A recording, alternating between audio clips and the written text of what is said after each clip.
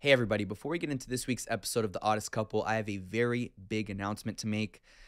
John and I will officially be doing our first ever live show edition of The Oddest Couple podcast here in New York City on Thursday, May 25th at 7:30 p.m. at City Winery in Manhattan. City Winery is an amazing venue for those who live in New York. You've probably been to many shows there. We are super stoked. When we first kind of teased this a couple of weeks ago, the responses were overwhelming. So, of course, we had to make it happen. So, buy your tickets and buy your tickets early. We're going to put the link to be able to buy those tickets in the description of this video.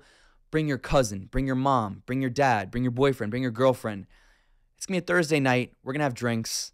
We're going to make this a very interactive experience. We're going to bring people on stage. We're going to do a meet and greet. It's going to be a lot of fun. And for John and I, this to be a very special moment. You know, we're both New Yorkers, so to be able to do our first live show in New York City is very, very exciting. So once again, City Winery, Thursday, May 25th at 7:30 p.m.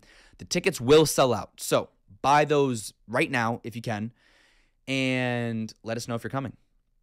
We are super excited to meet all of you, and uh, we just can't wait to to see you all there. So now let's get into this week's episode of The Oddest Couple. Here, here, here we go.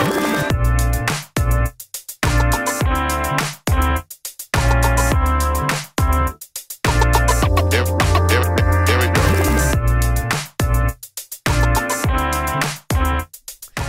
And we're live. Another episode of The Oddest Couple. I'm Felix Levine, and across from me is John Alite. If you're listening to this right now, thank you so much for taking the time. Uh, it's gonna be a uh, it's gonna be a great show. Real quick, if you don't do it already, follow us on Instagram at felix.levine and at John Alite. At True John Alite on TikTok, at Felix Levine for myself on TikTok, our YouTube channel, which is on John's channel actually. Uh, make sure you subscribe to his channel. Uh, turn on the notifications, comment on all the videos, like all the videos, subscribe there. You'll watch everything in their full. A subscribe button. oh yeah, yeah. My coffee every week. um, subscribe there. And I think that's more or less it for the housekeeping. Today we're gonna talk about. I like that shirt. We're talking about my clothes. Yeah, well, no, like not- the we're not gonna last one about. last week, the Robert Graham. I wear a lot of Robert Graham. That's a nice one though. Yeah, this one's. Um, sorry, I got distracted. Uh, what we want to talk about this week, which I don't think we've ever talked about weirdly enough. We've talked about different, like maybe organized crime here in the United States, whether it's like some of these different um, gangs here, but how the organized crime is different around the world and how, and your experiences dealing with the different organized crime groups, let's say, around the world. Um, because I think it gives a ton of insight into how things are different. For me personally, no, I have no experience, but for me personally, when I tell people about you and the Well, you mafia, travel a lot of Europe. I do travel, but I don't. I don't partake in organized crime in Europe, nor do I do it here or anywhere. Just to be clear for anybody listening, You mean sometimes you pass messages for me? in Dubai it. My yeah, Arab imagine, connections. Imagine. with the sheik. talk, talk with the shit. Yeah, they got money there too. Um, but no, you have experiences dealing with them, and what I tell people here about the mafia is that it was always not that it makes it justifiable or okay, but when you were dealing with people, when you were being violent with people, it was always people. It was always the men involved in the mafia. You sign up for a game, you're part of the game. It's kill or be killed. That's it, right? That's what the mafia was here. Where I kind of lose respect for, I think, a lot of organized crime outside is when they would kill me, uh, women and children, right? And I think that's not to say that killing anybody in general general is honorable, but it's not even it's disgusting when you bring in women and children that have nothing to do that don't subscribe to the life. So I'm curious from your experience, I guess off the bat, which country or which region is most similar in terms of the mafia United States, particularly in the New York area that you were a part of? You know, Europe mentality overall is completely different than the mentality of the New York mafia here. and I'll give you an example. You know, they call the Italian mafia in Italy, you know, here in America, they call them zips. And uh, they didn't like them, didn't really want to respect them here uh, when they came here and they got straightened out or made here. And the uh, Italian mafia and the different uh, organizations in Europe and Italy had a completely different mentality than here. And one of the reasons I, I believe is um, here that's so out there. I mean, this is I'm, the mafia now is 40 years removed from what I was used to. You know, this is the mid of 2025 almost compared to 1980 and the mafia back then. It was completely different. These guys now uh, talk too much, uh, move around in groups and gangs too much, don't really understand the rules and regulations, and the uh, the, the the violence is nothing compared to when we were, you know, guys were getting killed. But in Europe itself and different mentalities, I think you look at the Albanian, the guys from and Albania now is spread out through every country whether it's Amsterdam, Germany, because it's a big presence of Albanians, uh, the UK. You look at the way they carry themselves, they work within each other in a, in a quiet way. They're not as boisterous, but I think they're, the violence in Europe is a lot more extreme than it is here now. Here, there's no violence. But back in your day, and I guess even still now in some weird ways, like how do you think the cartels, specifically the Mexican cartels, the Colombian cartels, compared violence-wise to the mob, to the mafia your in your time period? I mean, United States mafia, we don't touch families. Uh, you know, we don't touch kids. We don't touch women. But the cartels, they do. Uh, they did back then. They will today. Um, look what's going on now through the fentanyl and the uh, the bringing in of fentanyl and the attack on our kids. Uh, and uh, if the the force they're forcing people from these countries to bring it in, and and it's not really talked about that much. I don't know why. Uh, a lot of the, a lot of the drugs are being brought in, fentanyl and different things for the cartel now, are being forced by individuals that are coming across. If you don't bring it in, we're going to kill your family. We're going to attack your family. We're going to, you know, prostitute your kids. We're going to prostitute women. There's, you know, there's trees along the border that they, after they rape women, they, they're putting their garments up on a tree to show the, you know, the intimidation. So nobody really talks about that stuff. And, you know, my country, and we talk about Albania and the, you know, the Serbian war, and a lot of women and ki- kids were killed in Kosovo by the Serbians. Now I know they're going to obviously attack every time I talk like this. And I'm sorry, reality and truth of what happened is what happened. You know, I go to a lot of the cemeteries, uh, and when I go to Kosovo, and I, and I just was here in the city, at the Serbian uh, uh, consulates, you know, in protest of some of the things that happened. Now, everybody has the ability to, to say what they want and what's true, what they believe is true. And these are my facts and what I believe is true. And that's why I'm a big advocate of, of what you just said. You don't kill kids. You don't touch women. And, and no different in the mob. Uh, you just don't do it. And it happens in other countries. When you were working actively in the mafia, I know you guys frequently worked with the cartels.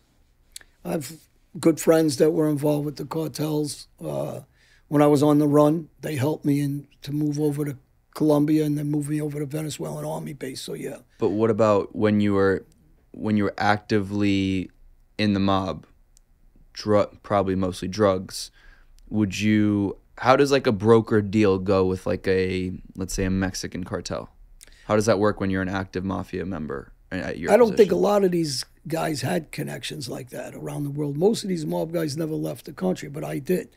My girlfriend at the time, Lorraine, her brother was uh, my connection in in uh, Colombia, so I would get my my coke from him. Uh, his father. So how did that work? As far as getting. Yeah, so you would call him.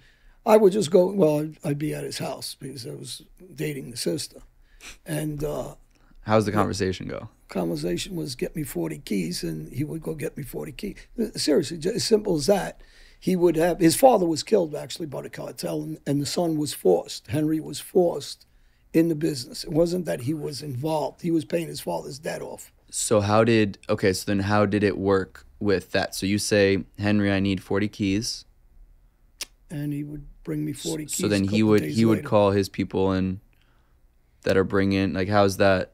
they would i would i don't know how other people did it i got it directly and mine was right off union turnpike by st john's university i would pick it up right at his house so a lot of these guys are getting it from uh, they'd get it from miami or they'd have to travel and make arrangements or pick it up themselves depending on the price i was having it hand delivered right to his house and i'd pick it up right there so i had a different connection though i had a direct connection So who who was the person? Do you know who the people that brought it were? Are they direct cartel the members? direct cartel members they, were- they were So bringing in it was. Mexican or Colombian? they were colombian So it'd be like Colombian guys.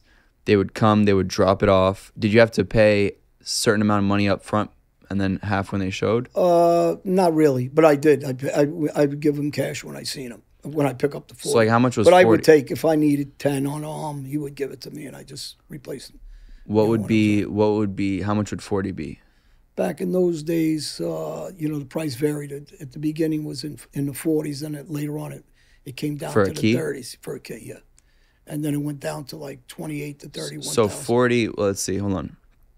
So if I get- wouldn't pay forty though. That wasn't my price. That was street prices. Oh, So you know, the street price you get you could sell a key back then for forty something thousand. and so you're getting it how much though?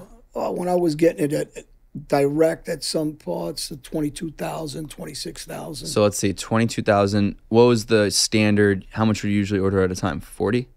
no, it depends. Some some weeks I'd just pick up 10 a week. Sometimes I'd So it's I'd like you're still looking at you got up front a couple hundred thousand. Oh yeah, yeah, yeah. So you're and you're and you're bringing them cash. Cash. Yeah. So you would bring, so they would tell you like a, a time, a spot, off Union Turnpike. No, I'd just go to his house, Oh. pick it up. I told a story once a while ago. It was one of my friends, Joey. We went to the house. The mother didn't speak English. She told me downstairs it used to be under the stairwell, and she thought I I was only picking up two or three at the time, and it was I think 47 or 48 keys. And my friend said, It's heavy. Yeah, and, and I wasn't supposed to come over. I just happened to stop over, and my friend was looking to kill the mother. And I looked at him. I said, "Are you out of your mind talking to me like that?" You know. So that, and he wasn't really that kind of guy, but yet when it came to that kind of money, that all of a sudden he was that Well, yeah, because you're looking at what fifty times. Tw- you're looking Yeah, at well, you're a couple looking million at dollars. a couple million easy, and Right. you know, yeah, and you know, and I told the mother after that, and I told the daughter, the girl I was dating, you got to tell your mother you can't let nobody down here like this. They'll take a life Yeah. for this kind of, you know. And she didn't realize. She thought I was the one that was picking it up. Somebody else was coming to get that. I was only coming. I was short a couple of keys at the time. I just ran over to get it. Did you ever, when you were active, not when you were on the run, go to Colombia or Mexico? Uh, I went to Mexico all the time. In Mexico, we were moving more uh, marijuana out of uh, Oh. Mexico in those days. Not co- well, you you you bring if you're going over, you would bring you'd bring back another five or ten. And how would you bring it back? Trucks. So And you would pay off the border guys. They were already paid off. That had to do with the guys we were picking up from. They had those guys. So like, how much would you? So you'd go. I wouldn't deal with them direct. I didn't have to. Our guys would have their border guys. They bring the truck on the Texas side for us, and uh, we take it from there. So Would you ever? Would so you would physically like be in the truck? No, no, never. No. You'd always We had crews that would do it. Because you can't be caught. In worst case, No, you wouldn't do it. You know, we're the guys calling the shots. I'm the guys bringing it in. I, so I had, I wouldn't go near that stuff. But when you would so when you would go to Mexico, where were you meeting? Were you meeting with cartel members directly? Yeah, Like, why would of- you go? Why why couldn't you just call somebody or have somebody do it? You didn't, we didn't use the phones, even especially back then. Mm. But you know, it was no big deal. We were always traveling back and forth to Mexico, so we'd meet, we'd talk. Uh, you know, we'd tell them we're coming down for vacation. I'd see a couple of guys. I'd make a meeting. Later on, I had my cousin Billy, who uh, would have connections that also with his guys, and so you know they'd bring it across, and uh, you know so I wouldn't have any. I would coordinate. I would talk about how much we're bringing, but that's about it. And at a meeting, it would be with like leader, more of the like cartel guys, whoever was organizing it. Whoever was organizing, or whoever connections were, and you know over the years that changes depends on who was. So you'd sit down. You guys would just get like whatever, co- like drinks, coffee, sit down, talk, talk business. Well, we we, we wouldn't have coffee. We'd have we would drink tequila. We drink. We'd have girls But around. that- Would be good. You know, Right, it was, right. It was. Listen, Does it look a couple did, days of party? Did it look like the movies, Yeah, I mean, listen. like Narco? You see Narcos? Yeah, yeah, and and hundred percent yes. Really? Yeah, we had groups, and I want you know we we'd go down. It was probably uh, uh, fifteen or twenty of us on an occasion, and we the, the minute we got there, they met me at a hotel, and it wasn't supposed to start off this way, and, then it did. We're all drinking shots, we're drinking crazy, and we drank all night, and you know we're having a good time, and you know, listen, these guys are regular guys to me too. You know, it's just uh, it's money, and uh, you know, you're not thinking about anything else but making money. It ain't the violence. You know, you're trying to avoid the violence. And between us, because we were friendly, there was no violence. Everything actually worked out. But there was a time when one of my friends went down there without me, and got locked up down there. Uh, Mark Ryder's son, Greg, later on ends up uh, disappearing, gets killed. So there was some of my friends that ends up end up screwing the cartel and getting killed for it. Uh, How do you screw them? uh, well, one guy took kilos off him. They chopped his head off, and they left his head in Florida. At the time, on a post on the intercoastal. So you know, when guys do dumb things, dumb things happen.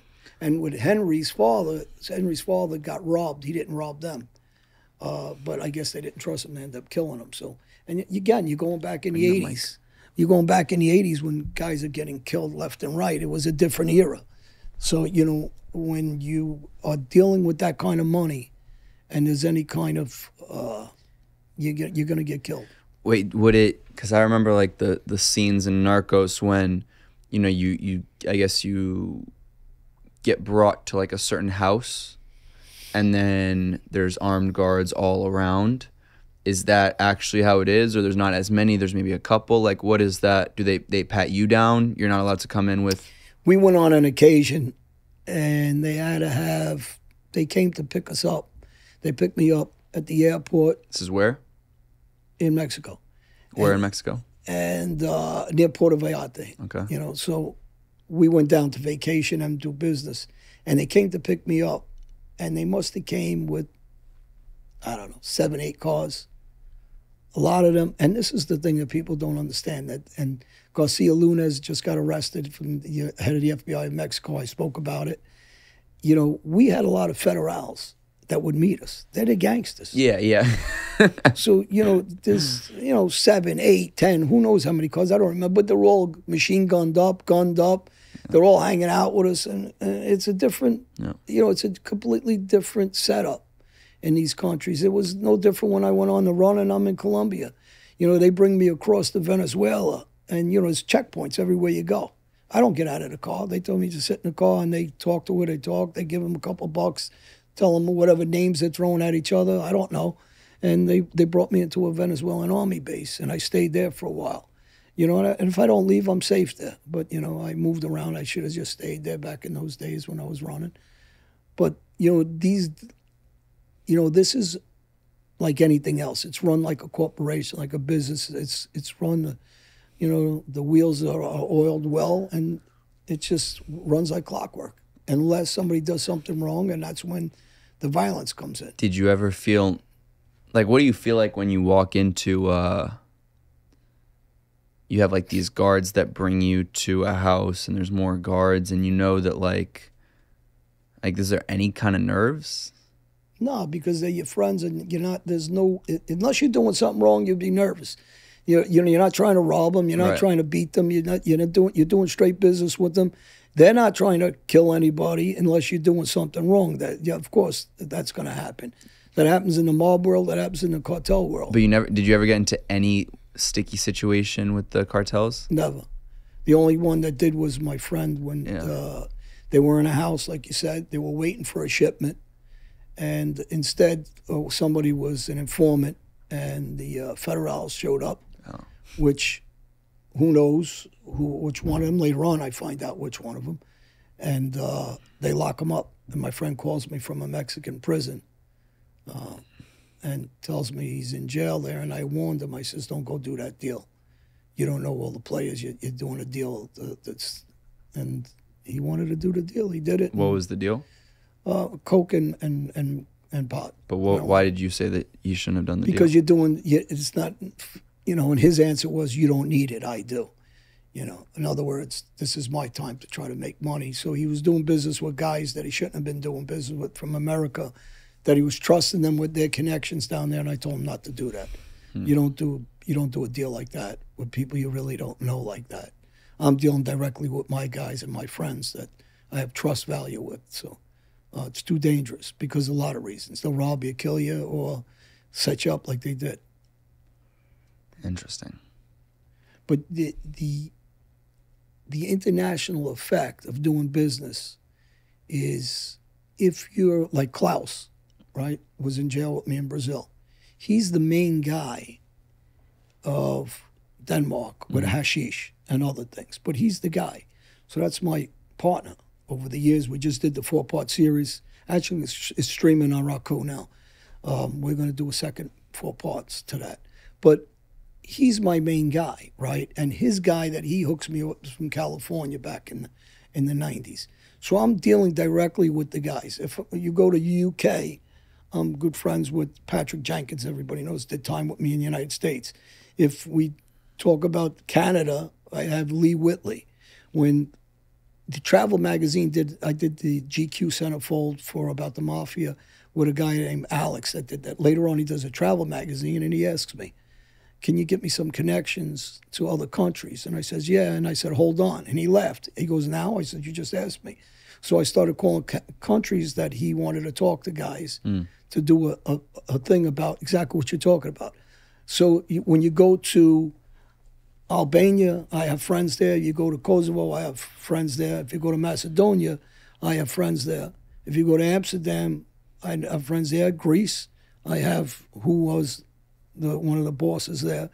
Uh, the UK, I have Patrick, and I have uh, different guys there that you know. Now I talk regularly with Marvin Herbert. The guys know who he is. Um, Brian, a tax man, I've talked to, who's you know big tough guy in his day. Uh, so you know you you develop international friendships because you're traveling internationally.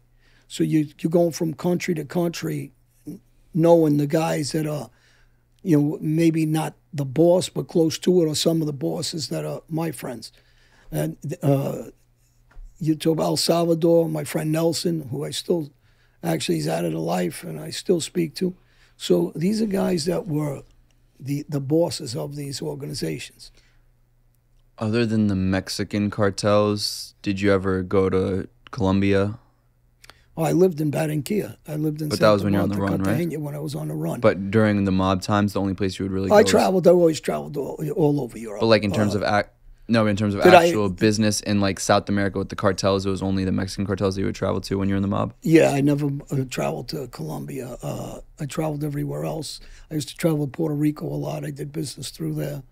Uh, back in those days, I was. I actually Escobar? stayed in. And no, but the guy I'm talking about, Nelson, his father and uncle were the generals in Salvador who were going to hit Escobar, and there's a book out on it, and they talk about it and his life story. He's going to be active shortly in in the movie business and some of the things that he we'll have him on. You ever meet El Chapo?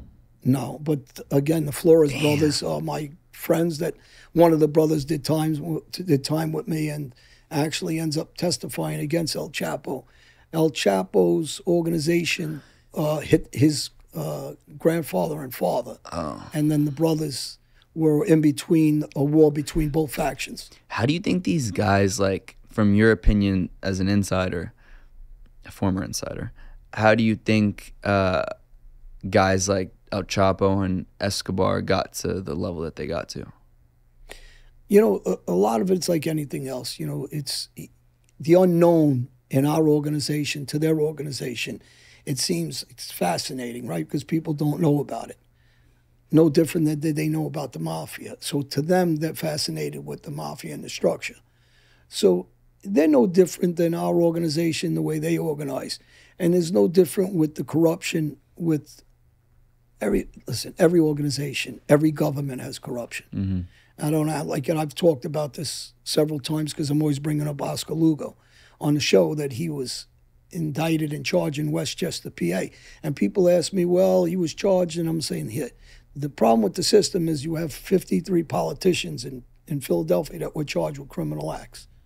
So when they talk about these countries and the third world countries, imagine the corruption there if we have such corruption here. Yeah, but like my, what I'm curious about is how how does somebody like, and obviously, I guess there's the answers that people will give you, but it, for in your opinion, how does a guy like Pablo Escobar become Pablo Escobar? Like anything else, any organization, you work your way up and you become more powerful. Yeah, but these guys did it when they were fairly, but they were young, like relatively young when they were at, at their in their prime. Even Chapo, Yeah, these guys are young, but you're talking. like they're what third forties, early forties. Yeah, but so was Gotti. Oh right. You know, it, it- That- people how old was he when he was, like, when he became boss? Uh, let's see, he gets out in about 1978. So you know, he's a fairly young guy. You know, he's he took over when he killed Paul in '85. Um, I don't know. He was he was young. You know, in, in his late 30s, early 40s. So he was he, he was a pretty young guy. You know, he wasn't you know what people think. You know, they have an image of them because you see them Right, right, right. you know, and they appear to be older and they act they a little appear to be older. older and bigger, but like And- guys and- like El Chapo are like fucking five. How uh, like, like five seven? It's like Napoleon. you know what I mean?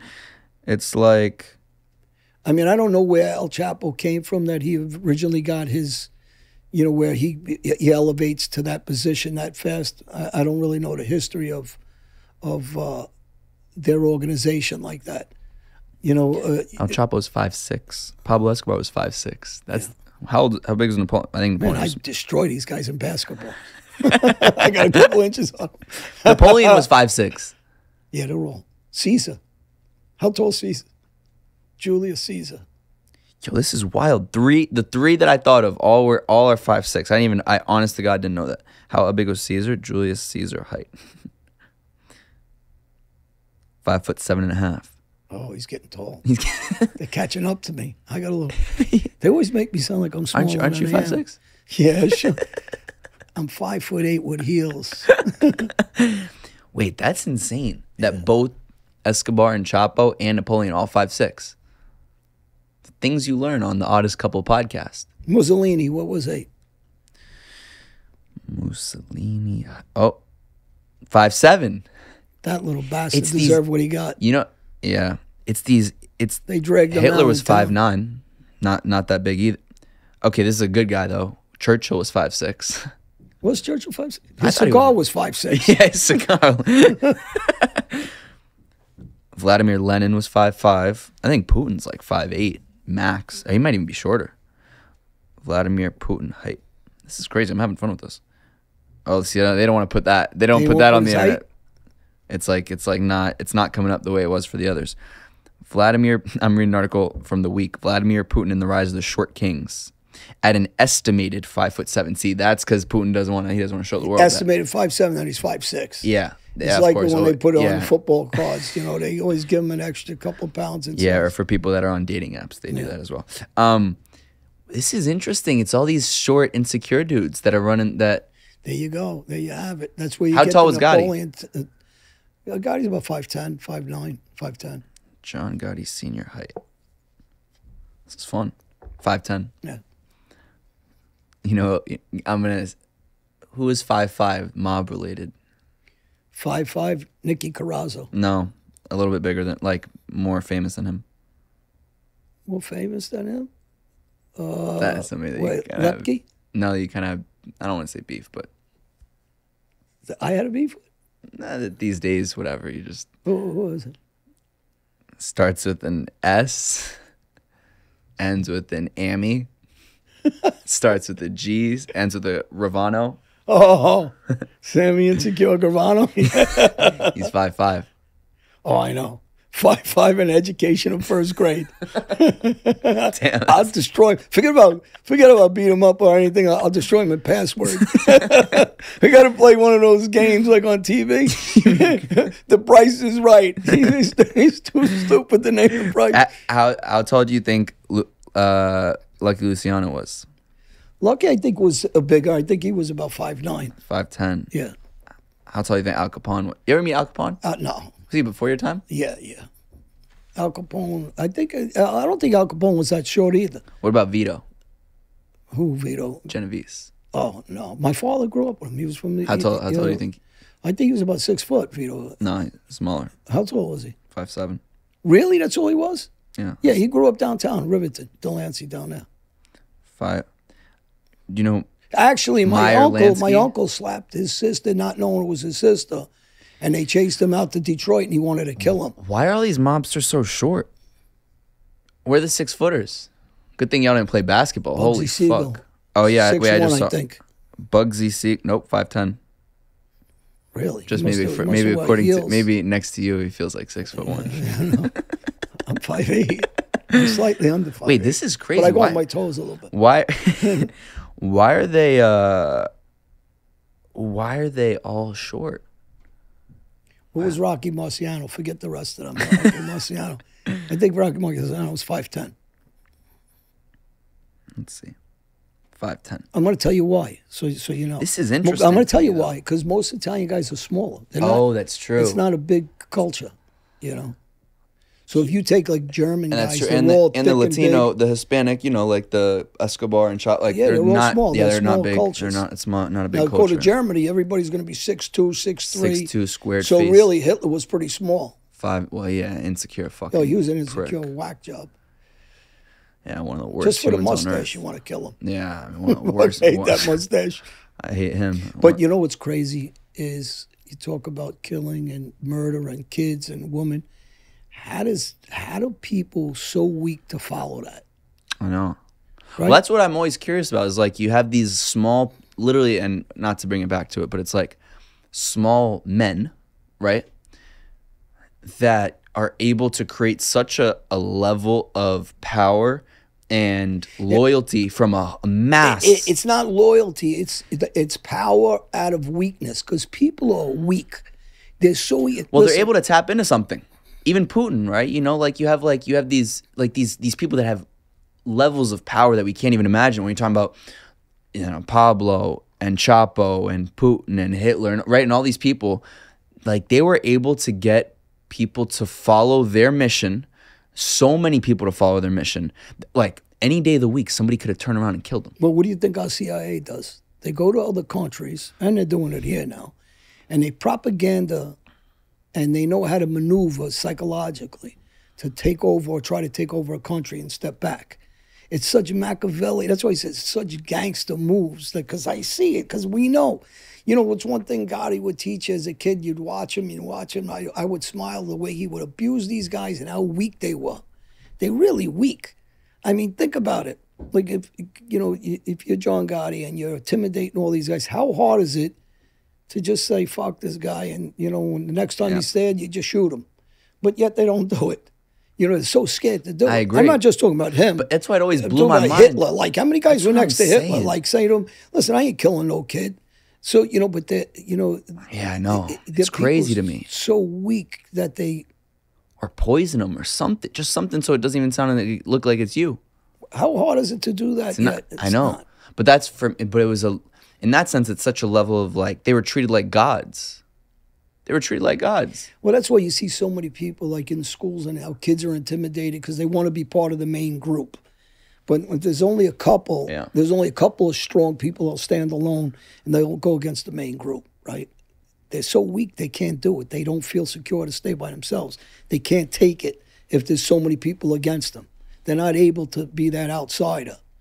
And there's nothing wrong with being that outside. That's one of the things you got to teach kids now. I think when they're talking about school, and I said some of the things they should be teaching in school should be they should start early about you know with psychology and and, and, and Mm-hmm. I agree with that, mental actually. toughness and this. It should be a class because it's important through life to help you to have confidence. Right? Without confidence, I really agree with that. they should they should have really they sh- that would be such a cool thing to implement like when i have kids one day if i knew that they had you know starting from a young age more open conversations about and, and i guess it's it is a little bit advanced if you're talking about like a 7 10 even 12 year old but talking just about like what like maybe it sounds kind of like corny but like talk about what you're feeling or thinking right? And then people go around and, and then these kids will realize like oh like i'm thinking this this is why i'm thinking that and and like how how does a leader come about how does a follower come about why do people do certain things They should have a class called mental strength. Right. Like something like that, right? And because I think that would be interesting too. I think a lot of, yeah, there would be a lot of things that would be beneficial that would come from that. And I think it would better and allow people to understand when they're then in history class two periods later, right? A couple hours later, they would better understand when they're learning about Hitler or about these these different you know historical figures that did horrible things they would under they would maybe have a better idea of how this psychology and how it happened You know, it's only 80 years ago about. i know it's fucking crazy when you And think how about do, well, this is what I don't understand. How do you allow people at this right now, after it was only 80 years ago, not to question things? The biggest thing I think that I want my grandson to understand, or anybody should want their kids, is to question every single thing. If you don't, that's why I don't like that there is not a lot of rhetoric and, and debates, because if you don't question anything, right? if there's if you're you're the way you stand on anything, the way an orange tastes, right? And you're talking about way you know because I'm going to watch what I say because I'm going to talk about uh, I'm not going to talk about science and medical stuff that I'm disagreement of. Thank God. because those two things that we know what I'm talking about. How does everybody just like sheep accept it? Because if I told you to Okay, I drink this and I don't tell you what's can i in make there, a counter argument yeah, the only thing that I agree, I'm all for. I mean, you you know this at this point. I'm all for open discussion, disagreements, getting a Republican and Democrat in a room, having them debate something, and at the end of the day, and, and then afterwards they go for pizza, they give a big hug, and they go to the movies together because they're best friends. I think that's awesome, right? That's what I hope. I wish this world would look like a lot more. The only thing that I think is a little bit dangerous if you go to the ex- I'm not saying you're going to you're you're saying that you want this extreme. But if everybody only ever questions and doubts every single thing ever, this is how you get. I'm not saying believe things when you hear them. I think you should initially question something, and then once you do your proper research and you get to the to the point, good. You've done you've done your due diligence. But the issue now that's cr- being created, in my opinion, is that nobody trusts nothing, which is, I agree, part of the media's fault, part of the politician's fault, both sides. But the issue now is that like fucking everything is all over the place. Nobody nobody believe, takes anything as a fact. Everything is fact or fiction depending on where you stand on certain things. And now nobody like this is for me the issue with the politics and what's going on today is like now you have Democrats and Republicans that stand stare and look at the same sky and they can't agree whether it's pink or purple Well, I'm going to tell you why. I'll tell you why. And you're going to laugh, and you're going to maybe, but people that know what I'm saying aren't going to laugh. We don't really live in a free democratic society that they push. You know why? We only have two, either Democrat or Republican. We don't have a third party running. Yeah. And it's built so they cannot allow a third party to run. That that I actually 100% agree with.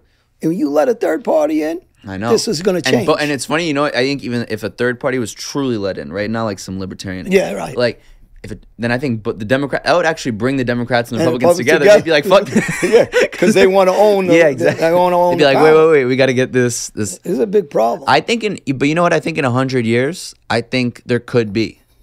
I hope so. You know, I think there really could be. But I want to tell you about back to my medical. I got to get back to it. When you have scientists and doctors, they should be able to get on the stage and and talk oh, Well, and like say Fauci? what they agree with. The, I don't like. I'm kidding. I'm kidding. I just want to. I'm gonna tell you why I don't I like just, him. I just wanted to. I got to show up. you how he he said he was a, he was a you up. scholarship basketball player at five foot two. Who was he playing? The Munchkins from from Wizard of Oz. But he went to throw a ball. Right now, you're an athlete. You're an athlete. Basketball or baseball? he went to throw to- Oh. a baseball on a baseball oh. field, and he threw it over there like my. Listen, my grandson can throw it, so I can't use him. He threw it like a one-year-old would throw it that way, not that way. And if you're athletic and you're playing oh, basketball, should've there's no way this. you can't toss a ball. So he's Should've such a liar. There's name. Anything should- else I could trust this guy with. I shouldn't have brought up. Complete liar. I can't stand him. Fuck, I, I can't wait. Listen, there's one thing I like to see getting indicted. That's him for his lies. But anyway, no, we don't make it political. I almost. I almost You ever watch Honeymooners? Jackie Gleason. no. I got a big mouth. He he doesn't shut up. He hasn't missed an opportunity to go on the news. Journalist, not one magazine. Ah, yeah, yeah. All right. This is all my fault. I, So shouldn't, I shouldn't have brought I it up. want I want more freedom of election by having a third party. How do we even get there? Oh, basically talking about these these cartel figures that see you always we always get to something political. Fucking shit. You're good at your, you've been get you've been getting good at this at, at, at luring me in. But then I'm also an idiot. I can't be like setting you off with like Fauci and stuff. Yeah, you started I did start. You threw I my did. key word in. I know. I know. Fauci. My, the, yeah, Slowly I turned. Fauci. COVID. Uh, I didn't say it. either. See, I did not say. Oh my God, it's too I funny. to. But I'm talking about the international. So listen, if you and you travel a lot internationally, so you understand mentalities of different Mm-hmm. countries. Like I think about you know you, you I said UK. I talk about Liverpool. Liverpool. I, they did a mag. I was in a magazine. Uh, you know, a couple of years back, and uh, you know the, the the people are strong people. I'm fighting wise. I'm talking about with their hands. You know, it's a it's a rough community. It is. You know, and uh, I y- y- I can recognize and understand them because they're passionate. So when you go to each culture, you understand the way they are, the laid back communities, the the other thing, but you understand the mentality of Europe. It's completely. I got to tell you, it's a lot different than the states. And I think the people that never really travel, I don't think they understand it. I agree. I agree. That's why I think it's important to, to travel, and I think that's why it's interesting. We, t- I mean, we always joke about how dumb a lot of these mob guys are, is because they never traveled. Like when we were, we were just joking about it off air. It's like after 35 years, they're still going to either the Poconos or Florida, I depending think on they just took a big vacation with the Poconos and they get lost. they never go. They start taking buses now. they can't go. They fight the whole way with their family. Let's just take a bus. It's easier. You go up Route 80, you stupid bastard. they don't even get it. Ah, it's too good. Where you going? I'm going to Florida. No shit. Big vacation again. Anyways, uh, another another fun time on the Oddest Couple podcast. We hope you enjoyed this episode of the podcast. Um, if you are listening to this, thank you for getting this far. Um, we'll keep dropping all our episodes here on wherever you're getting your podcast, whether it's Apple, Spotify, etc. When are we So doing the next podcast in, in Dubai? I- Aren't we going to Dubai? You got to get your ass on a flight. I'm going. I think don't like were flying. Going. I fly everywhere though. Yeah, no. I mean, I like flying. but it takes you a while because they stop you. Well, Dubai, because my we got a lot of friends there. So That's true. got Yeah, we gotta Richie's go to Dubai soon. Dennis is there. Everybody's there. Everybody's there. Um, if you're watching this, subscribe, like, comment. Did you enjoy this? Did you not? All that good stuff. Uh, follow us on Instagram. For me, it's at felix.levine. For John, it's at John Alite. And uh, we will see you very, very soon.